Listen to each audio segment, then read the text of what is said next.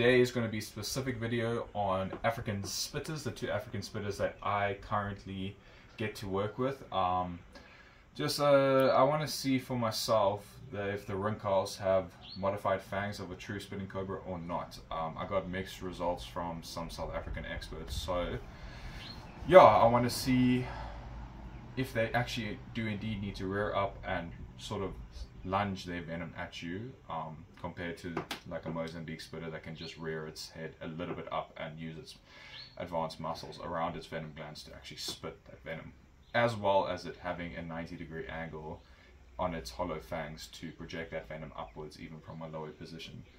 So how I'm going to do that is I'm going to take out a Rinkhals and a Mozambique spitting cobra. I'm going to neck it, lift it up so the fangs are exposed and just maybe massage the venom and get a close-up shot of where the venom actually comes out.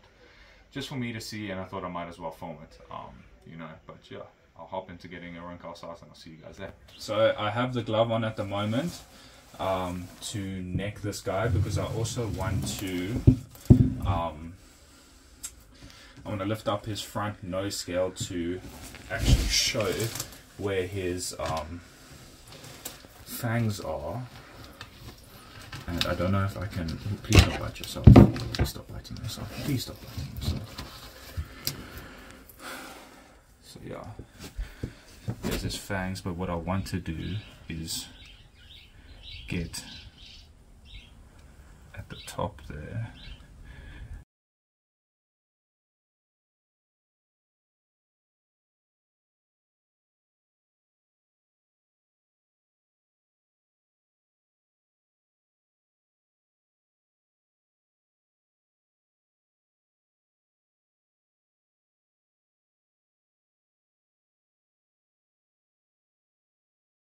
and you can see there squirting straight down.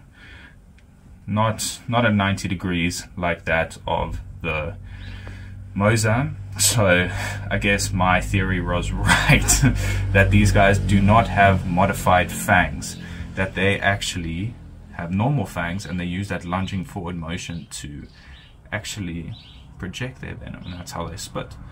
Just must have been an evolutionary sort of thing but yeah I'm gonna let this guy go that's pretty sick to see. I don't know if you guys got a close-up view. I might try and neck him without the glove and try and do this again, but we'll see.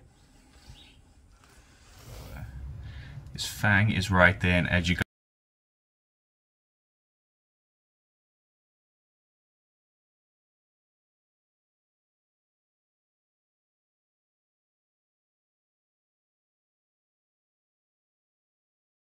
guys can see straight stream there. No angle, no nothing. The blood from him, um, from his lower jaw is just him biting me. Well, not biting me, fuck, I would be going to the hospital right now, but biting himself, trying to get to me. But you guys can see there that these guys do not, in fact, have a modified fang for spitting. So they do indeed need that lunging forward motion to actually get their venom, to propel their venom forward. Pretty sick. Um, so as you guys could see from that, that was a straight stream of venom, no angle to it. Um, so yeah, it's pretty cool to see that these guys actually have adapted to spitting their venom when they lunge forward like that. So I think that sort of proves that they need to rear up to actually spit their venom, which is pretty sick. But check how gorgeous it is. Give it a little kiss on the nose there. Absolutely stunning, stunning. Gonna move on to the Mozambique spitter and then maybe we can see a difference. Ciao. So I'm just gonna be necking the Mozambique spitting cobra real quick. He knows what I'm trying to do. He's a very, very smart animal. Very, very calm as well, not hooding up, not doing anything, not even spraying venom as of yet. But yeah, hopefully this goes well. Just want to be as gentle as possible. Obviously necking is one of the more dangerous things you can do as a snake owner. It is sometimes very necessary And for what? I'm doing this out of interest sake because of what I was told that true spitting cobras actually do have modified fangs to allow them to spit from any position, and the Rinkhals do not, and that's why they lunge forward when they spit. But see here. Got the Mozambique. You guys can see the size of this guy. Absolutely insane. But let's see his venom. I'll show you his fangs first.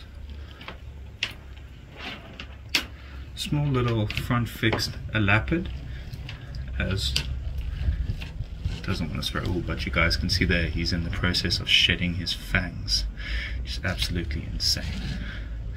But what I want to do is I want him to sort of see if he will spray his venom for us. There hmm? you guys can see. You see the difference between the the Mozambique and the Rinkhals this guy he went straight. The, the stream was straight up, so those fangs are at a 90 degree angle. So if he was looking at me like this, he can spray directly into my eyes. um, obviously, I have the glasses on for that exact reason. I don't know if you guys can see it. I don't want to spray at my girlfriend, but if she does some movements, he might spray some venom directly at the camera. There you guys can see.